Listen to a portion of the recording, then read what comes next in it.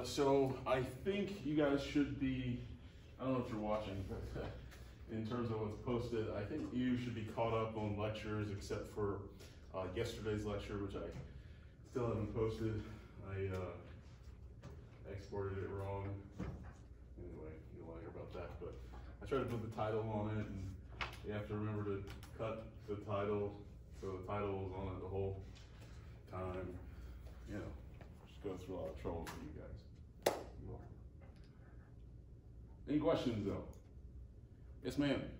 Um, could you like let me go over the like ego, super ego, and that kind of section because um I was watching the video and I couldn't really see what you're writing on the board. So, Okay, so you couldn't see that, the ego, super ego stuff. Um, I mean, I I watched the whole thing. I Sure, sure. I uh, I'll go over over it briefly. Um, I will say that I covered it again in, in yesterday's lecture, kind of a review before I kind of picked up uh, from where I was going. So check that out uh, too when I get it posted. I'll probably try to post it right after uh, class, so it should be up uh, this evening at least. Um, but we were just talking about. You heard the descriptions. I hope we were talking about the three parts. Maybe I should take that in under advisement and write bigger. Uh, we, we were looking at the three parts of the mind, the id, the ego, and the superego.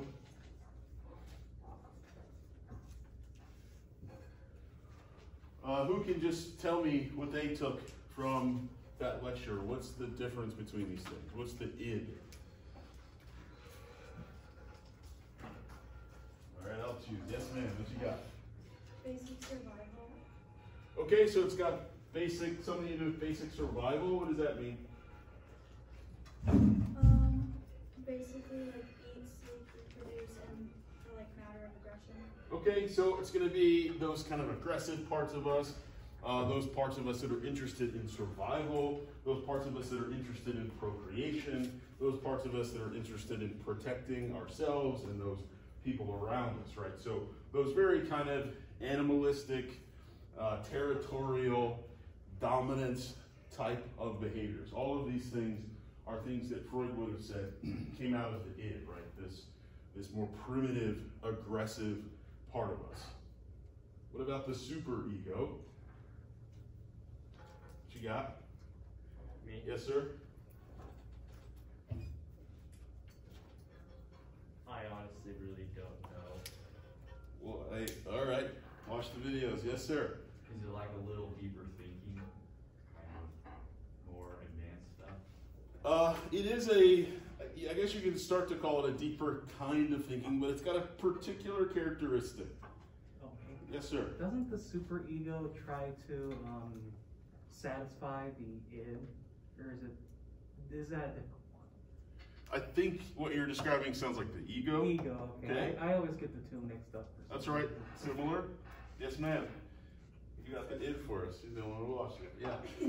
it's like the moral compass or like your conscience. Right, so the superego is going to be this part of your mind that's your conscience, right? It's going to be the part of your mind that says this is right, this is wrong. It's the things that you learned throughout your lifetime, certainly when you were growing up, about what's ethical, what's moral, uh, what your values are, what you should do, what you shouldn't do, right? All of these things are the superego. That is to say, you took them from the world and you made them your own. Right? This is just your mind. So anything in the superego, though it seems like society wants, and it maybe does, but your conception of what society wants is your own mind telling you you can't do this, you should do that. Does this make sense? Superego?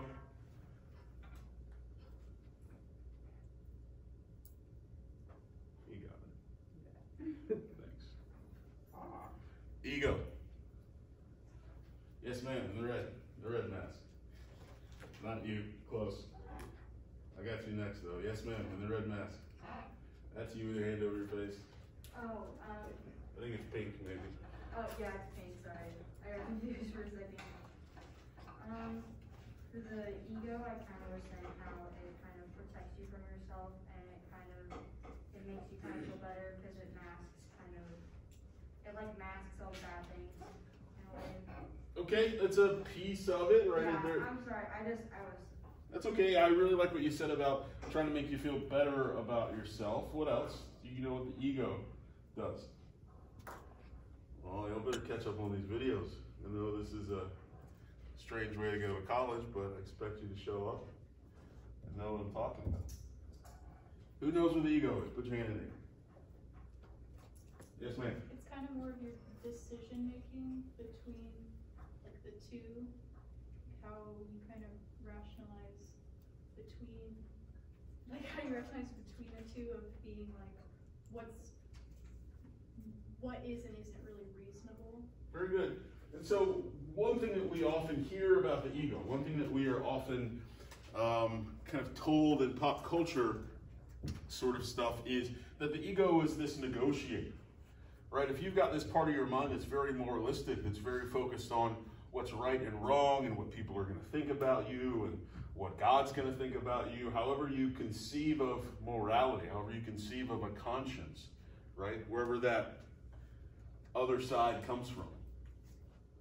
It's going to probably have some problems with some things that are coming out of your id, the things that you just want that are maybe selfish and are maybe primitive and are maybe overly sexual, right? And so the superego and the id are often going to be in some sort of conflict. And folks often think of the ego as this sort of negotiator. Okay, you want this and you want this. Let's see. I don't know. You got it last time, so I'm going to let the id have it. Or, well, let's try to come to some middle ground. Maybe. The real purpose of the ego is to protect you from things that would make you feel bad, really. In particular, it protects you from the parts of yourself that would make you feel bad. That is to say, the ego, its main job is to make sure that you feel like you're a good person. Or at least that you can stand yourself, right? Its whole reason for existence is to help you feel like you can stand yourself. And in so doing, it gives you this sense of control of yourself, this sense of awareness of everything, the sense of I'm in charge here. I know all there is and all I need to know about things, about what's going on for me. Well, that's not quite true, right? So if you could see my diagram of the iceberg, who know, could you guys see that? Iceberg, blah, blah, blah. right? This is about all that the ego is. Mostly it. Because you gotta survive. This is more important than liking yourself. Right? So we think about this as being who we are, and in fact, if we look at the conscious versus the unconscious mind, we can see that we can't even really see all of our ego. But even that part of us that feels like us, that keeps us liking ourselves. And if you're sitting there thinking, well, I don't really like myself, well, that's your ego convincing you to like yourself, right? You start from not liking yourself, well, then you have this urge to want to like yourself. Your ego's fault. So even that part isn't fully in our awareness. Does this make sense? Ego, super ego. Again, I cover it some more in uh, what, which video will be posted today. So you'll get a little bit of a rehash of that. And then if you haven't watched, I think it's last Thursday's video uh, where I spent some time uh, talking about this and I do some exercises with the class. Sounds like you might not be able to see the writing, but this is what it is. So draw. Any other questions? Yes, ma'am. Is there a test this Friday? Uh, probably not. I haven't gotten through what I want to get through, so dates are subject to change. I'll let you know. Will you email us? Um, I'll let you know somehow. Probably Okay. email. That's the best way to talk to all of you. It seems most of you. Um, Sometimes people still say they don't get stuff. Yeah. um, I was trying to get into, what's it called, Discord? Yep. Um, and I don't know if anybody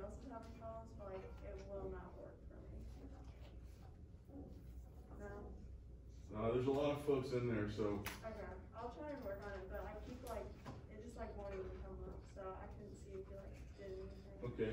But Try it on your phone. It may work on your phone. There's an app for both computer and the phone if that'll be helpful. Thanks. Yes, ma'am. Will you give us a study guide for the exams? Uh, no, I don't give study guides. That's what your notes are for. Welcome to college. Um, yeah, go in class, take notes, watch the lectures, take notes. That's what'll be on the test. I'll give you some sense of what's gonna be on the test, but I'm not gonna give you the answers to the test. Anything else? All right, uh, I forgot to watch the course, so we got some time. Uh, what I want to start talking about today are what's called Freud's psychosexual stages.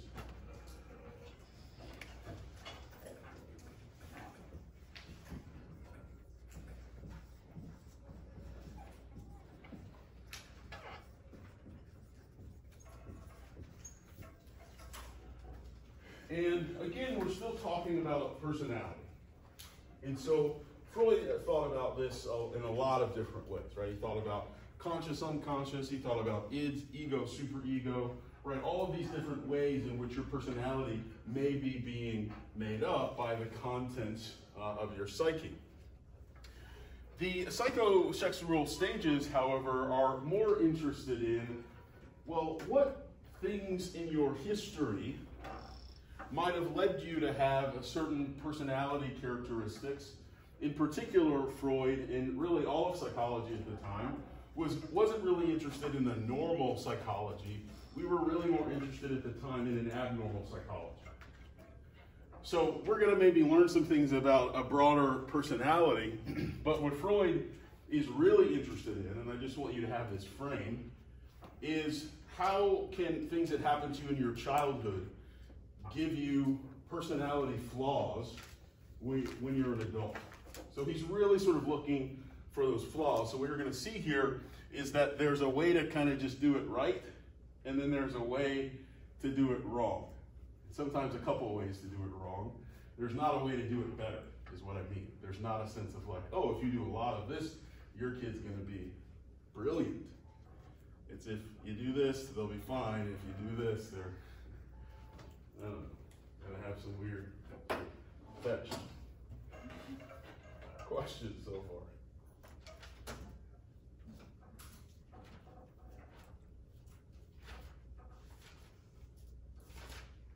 So the way this looks, trying to find it. Yep. The way this looks um, is similar to well, it is a developmental uh, stage theory. And so when we get to human development, when we get to that point where we're thinking about how folks mature, how you go from childhood to adulthood, and how that activates different things in your mind, uh, we're going to see a couple more of these. Uh, I've pushed, I put this one here again because it's a little bit more thinking about the development of personality. It is still sort of a human development piece, but uh, it's close, more closely related to personality than it is to sort of cognitive development, which is what we'll be talking about when we get there. Okay, anybody got kids in here? Good, awesome. So I'll be coming to you a lot. How old's your kid? I, one's five and one's three. Awesome. So you're gonna maybe be able to help us fill this out quite a bit. All right. She's like, oh god. So the first stage goes from. I'm gonna move this over. Goes from ages zero to 18 months.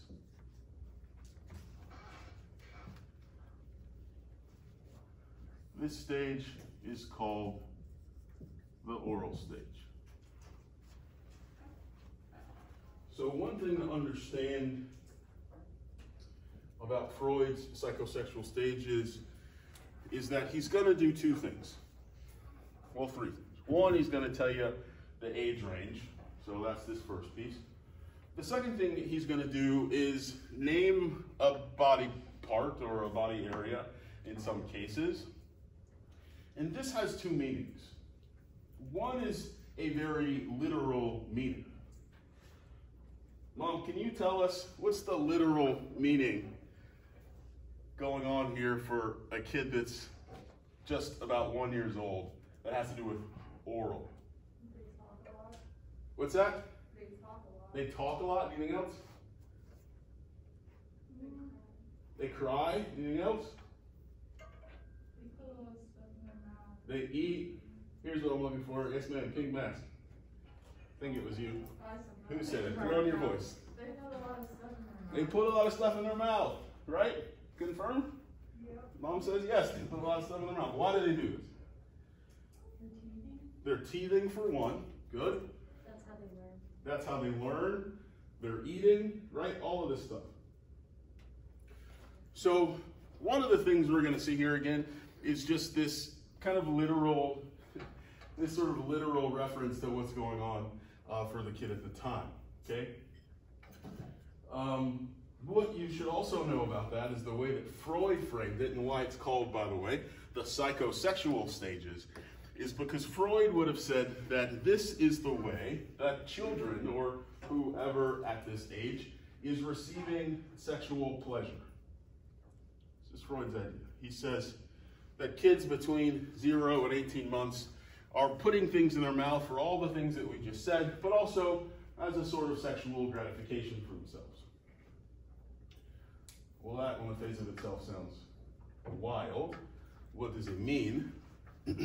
well, he doesn't mean sexual in the way that, that we quite mean sexual.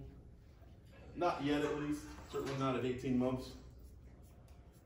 What he's noting, and this has been demonstrated in more modern science, is that children don't really have a sense of different types of pleasure the way that we do.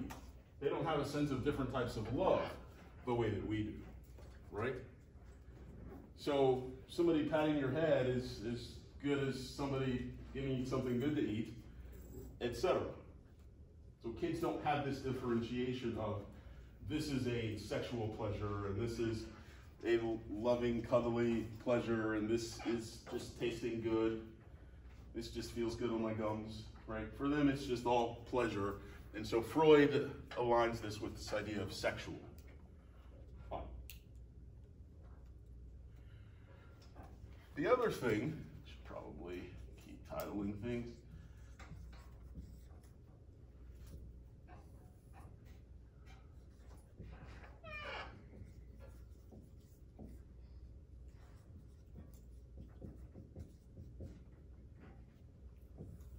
The other thing we're going to talk about, in, in addition to that literal physical piece, is the analogy. And here's where the real psychology is at work. There's a bit of um, archetypal psychology in here. We'll talk about what that means probably next week. But uh, what I mean to say is, is that Freud also has this sense of, in this case, the oral to mean, let me ask you, to mean what? What does it mean if, um, what does it mean if somebody offers you food? Um, I guess you eat it. What does it, what does it mean? Now what do you do with it? What does it mean if somebody offers you food? They're being, who said it? Being polite. They're being polite? That's great. But because what that really speaks to is that they're trying to care for you, right? There's this sense of care that's given if somebody's offering you food. Even if it's just you and your buddies or your girlfriends hanging out, watching TV or playing video games, and they go in the kitchen and make you a sandwich. Like, that's nice, right? Well, I mean, you don't have to do that. I appreciate it. And so, feeding, right, oral has this sense of, this analogy to being taken care of. And so, what Freud's really interested in, in terms of psychology, in terms of the psychology of these stages, is what developmentally is the kid going through at that time? And it turns out that at this very early stage of development, what kids are figuring out is is the world a safe place? Is it a place where people are going to take care of me, in particular, probably my parents? Are they going to take care of me? Are they going to meet my needs? Or am I going to be crying a lot because I'm not getting fed? Am I going to be allowed to stick dangerous or dirty things in my mouth because nobody's watching me? Am I going to be overfed? Is my mom not going to respond to my needs of that's enough? Stop putting that bottle in my mouth. Right? Or is she going to be very attentive and notice when I need to eat and feed me, and that's enough? Right?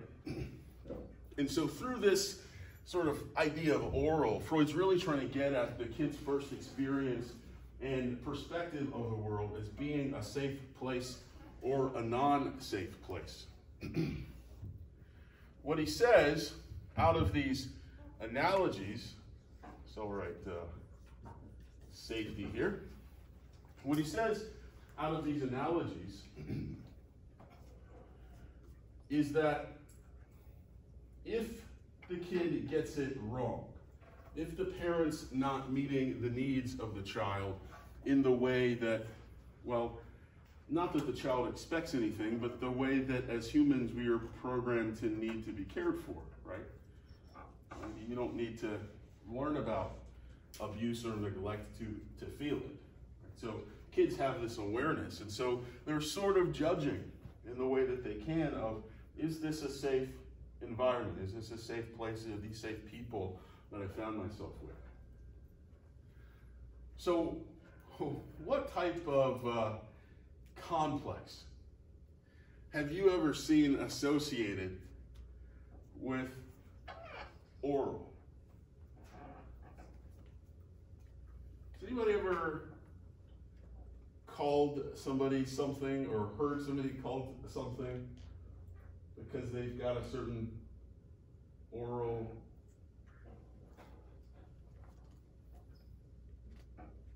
I know how to finish this. Yes, ma'am.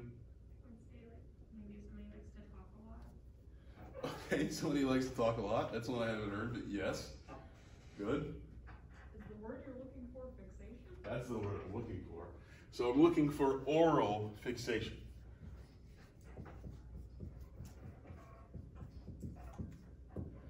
Very good. What's it mean if somebody's got an oral fixation? Oh, they like to put things in their mouth. They like to put things in their mouth. Like what? What would be evidence of that? What are some things a person you would expect a person with an oral fixation to put in their mouth? Yes, ma'am.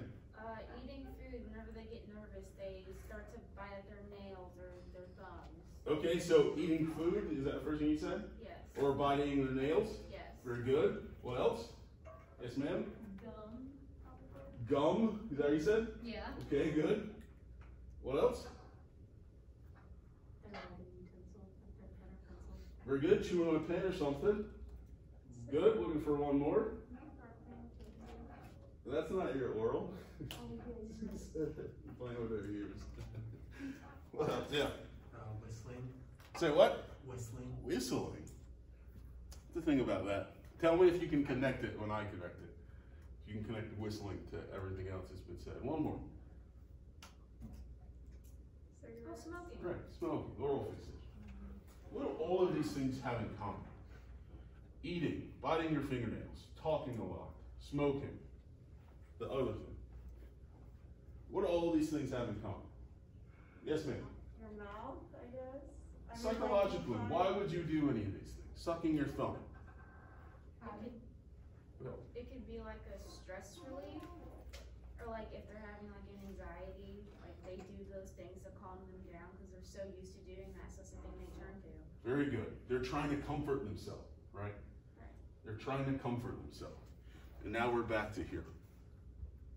Right? This idea that Freud's connecting, again, he's trying to think about how adult personalities get formed. And he's connecting these dots of, hey, if you're a kid and you're not getting your needs met, right?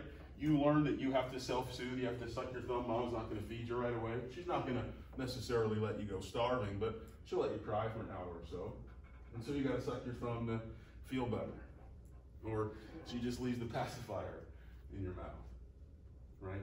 Or you gotta cry and cry and cry and cry before you get attention, right? All of these things are ways of either both getting attention, talking a lot, which is a new one for me, or just getting comfort, sucking your thumb, eating, comfort eating, right? All of these different types of things Freud would say might have come from a person who figured out that other people weren't going to meet their needs, and so they found all of these fixations, all of these things to do for themselves that would help them feel better, that would help them feel cared for, that would help them feel less stressed, less anxious. Whistling? Does it fit? Would drinking be an oral fixation? Maybe so. Uh, maybe so, if, if it's this type of thing that they're doing uh, for comfort. Yeah, I mean, it's it's it's a theoretical idea, of course, right? And so it could be things that aren't really oral, to be to be quite frank, right? But it, it really is just more about that idea of trying to care for yourself. And so drinking fits that because you're imbibing something, obviously, but you can imagine like a blankie or something that isn't exactly an oral thing, but it's still that kind of comfort, taking care of myself. Does that make sense? Okay, two years old to six.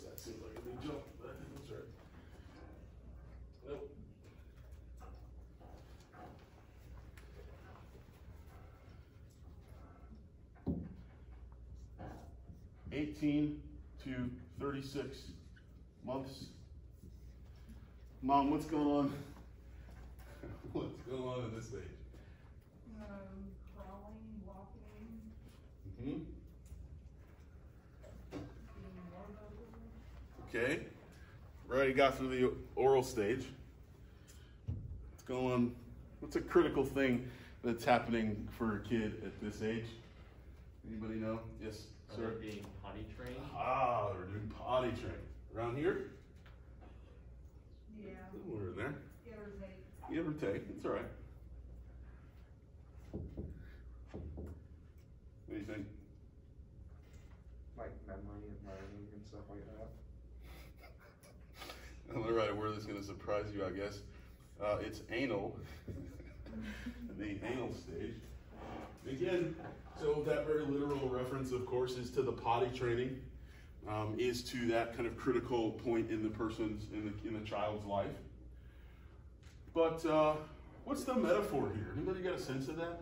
What's the what's the metaphor going on for this anal stage, this potty training, really?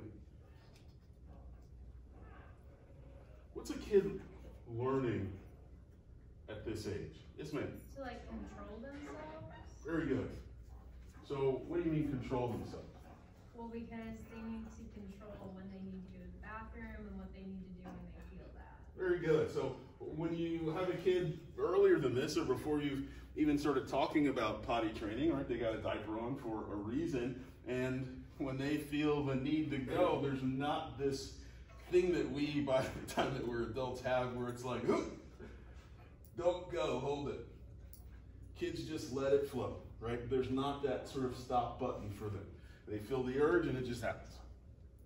And so the first step in potty training that child is saying, don't do that. Wait, I know that you feel like you've got to poop, but don't. Don't poop. This is the first time the child has probably been asked to control themselves. Right? 18 months old. Maybe you stop them from putting something in their mouth, but that's not really self control. If you're a parent, you're just going to move it out of their reach. You're not going to say, now don't pick that back up, right? Because the kid doesn't have that sense at 18 months. But as you start getting to two, three years old, they've got a sense of this. Mommy said no, right? And so they've got a sense of control, but this big lesson, this important lesson, and again, maybe the first one is do not poop in your pants. Go do that in the potty. What does the kid learn if they've got a parent who may be sitting in Dr. Gordon's class and says, I heard that at 18 months you should be able to go to the potty like a big boy, like a big girl, and, and you're not doing that yet.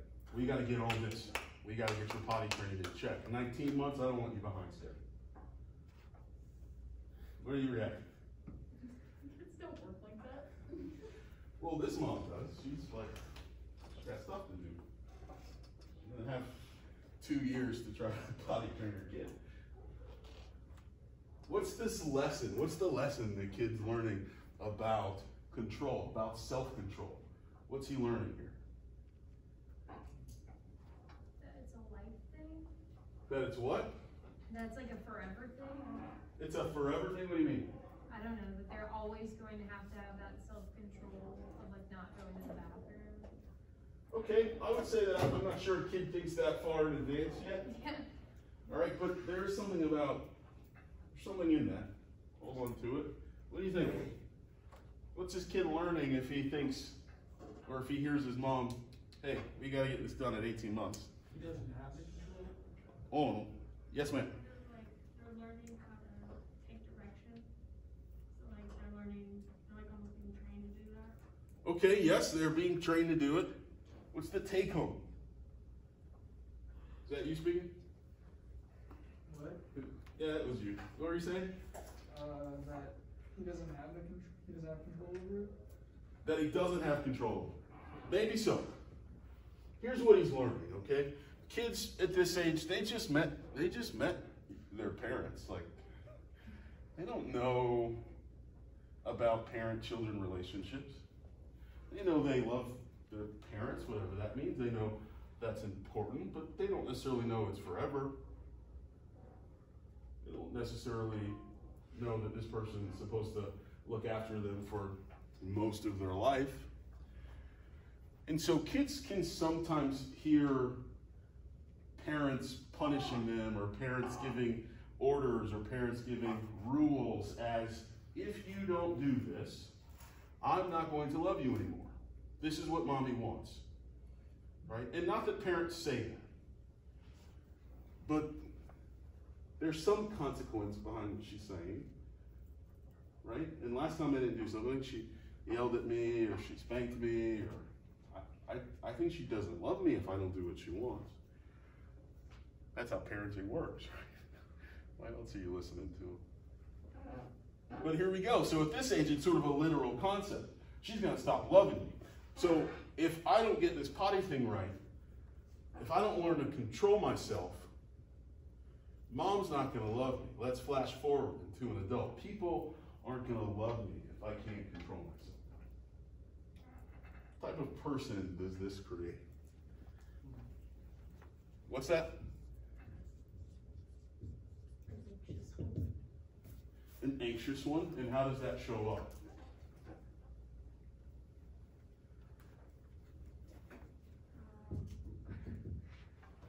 Does that show up? Yes, ma'am. Very good. They become, here's the name of the complex, this is where this comes from. They become what we call anal retentive. What's that mean? What's anal retentive? Who else want to talk to me? Yes, ma'am. In the black mask. Anal retentive, right here, in the braids. Um, maybe they're just always stressed out, like, if I don't get this right, then everyone's gonna be like, they're just always on edge. Okay, they're always on edge. They're kind of always stressed out. Yes, ma'am, behind her. What's it like if somebody's anal retentive? Let me help you. You would just say anal. That's where that comes from. And you're so anal. Why are you so anal? What's that mean? Yes, ma'am. Isn't anal like when they're super strict and like have to constantly follow like a plan, uh, don't stray from it because they're scared about what will happen? Here we go. Do we see how this is connected, right? Somebody who's anal is somebody who has to have a plan and is very strict and has to follow it and gets really anxious if they don't do the thing, right? Freud again would have connected that to this lesson about control early in life. This sense that the kid, when they first learned about control, learned that it was really, really important. Mommy won't love you. People won't love you if you can't. Right? And so it produces this personality characteristic, somebody who really, really thinks things need to be a certain way, or the world's gonna fall. What about the parent that's in here going, okay, I heard, do not press your kid too hard on potty training. You know, they can become one of these anal people, schedules, all that. Oof. So, I've heard I got up until 36 months. I'll give him 38 just to be sure. And around 38 months, I will mention the idea of potty training. See how he feels about it. If he's not into it, I mean, that's cool, man. Like, you just let me know when you're ready to go to potty. Like, no pressure at all. We'll keep buying diapers as long as it takes. What's this kid learning about control? You don't have to have it. What's that? You don't have to have any. You don't have to have it, right? That, what? You can do what you want You without can- consequences. You can do what you want without consequences. Doesn't matter. Mommy's gonna clean it up. Mommy's gonna take care of it. Mommy thinks that your needs are more important than anybody else's. This has a great term. this one's called anal expulsive. okay. This is, uh, you know, constipation and diarrhea, basically. So, the idea of the anal expulsive, of course, personality uh, is that here you have a person who doesn't think that self control is important, that doesn't think that um, order and timeliness and self control, right? All of those things don't really matter. The universe does not hinge on those things. Somebody will come along and clean it up for me. Right? No big deal. Who am I hurting? And so you can see how you get these different personality characteristics just out of this one incident in childhood. One of the things that Freud is really known for is this idea of a psychoanalytic psychology. I'll give you this word.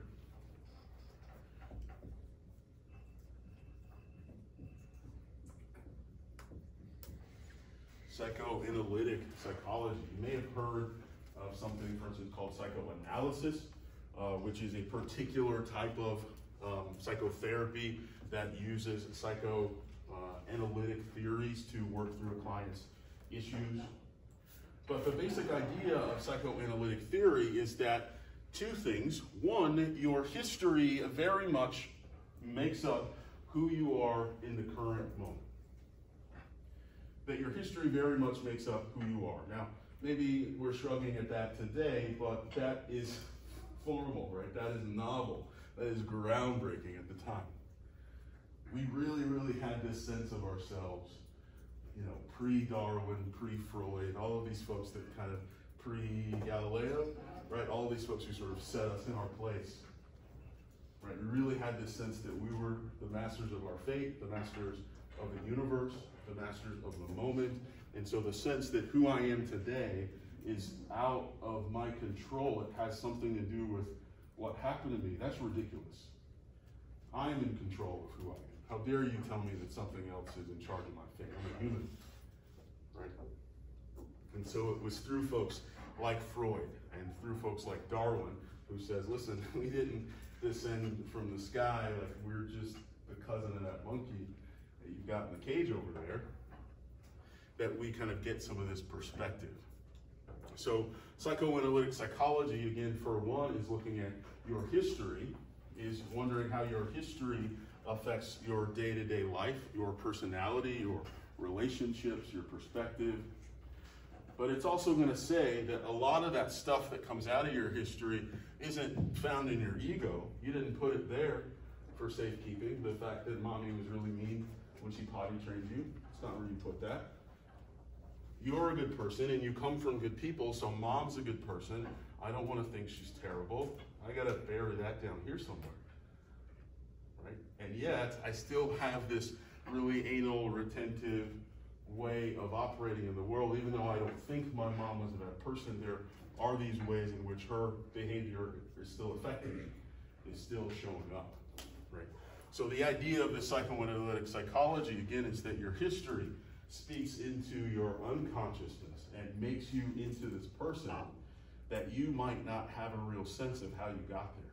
You might not have a real sense of, and again, in Freud's day, we're looking at issues, we're looking at problems, so you might ha- have a sense of what's wrong with you, really. Questions about this?